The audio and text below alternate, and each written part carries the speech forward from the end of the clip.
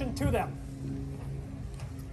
When in the course of human events it becomes necessary for one people to dissolve the political bands which have connected them with another, and to assume among the powers of the earth the separate and equal station to which the laws of nature and of nature's God entitle them, a decent respect to the opinions of mankind requires that they should declare the causes which impel them to the separation.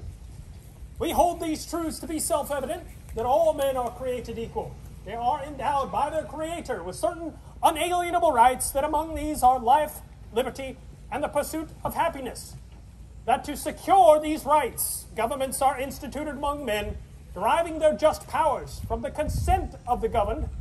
That whenever any form of government becomes destructive to these ends, it is the right of the people to alter or abolish it and to institute new government, laying its foundation on such principles and organizing its powers in such form as to them shall seem most likely to affect their safety and happiness.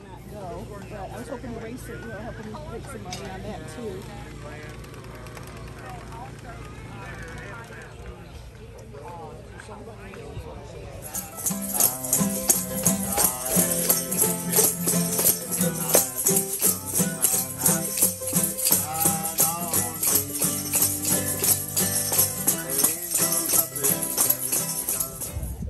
So like the Cherokees, they do a, they take a paddle and carve designs on the paddles, and when the clay is still kind of wet, they stamp it. So their pottery is stamped. So if you follow that, you know where Cherokees towns were in archaeology because of the pottery. One out of every ten. And they're they're suffering with the same thing. So to come down and, and get women and children, it's going to help keep their numbers high. And so we saw that going on. Yeah, so it's um, and then it's a lot later before westward expansion gets to Cherokee.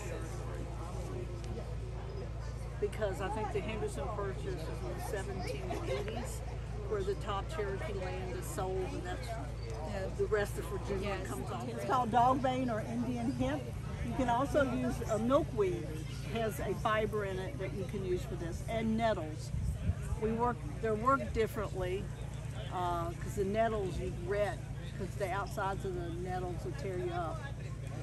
But So this it's doesn't. from, So the, from the linen.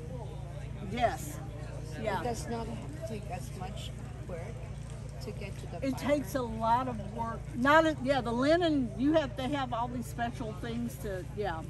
We can do we can work this with our hands. I work this with my hands when I do it.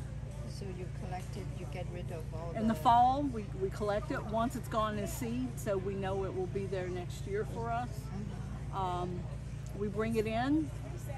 Uh, I take a stone and hit it and crack it open, and there's the inside of it, the very inside of it. In the summer, it's a white latexy stuff in it, so you want to wait till it dries. And once you crack it open, I can bend the bark and just peel it down like that and remove the whole center piece of it.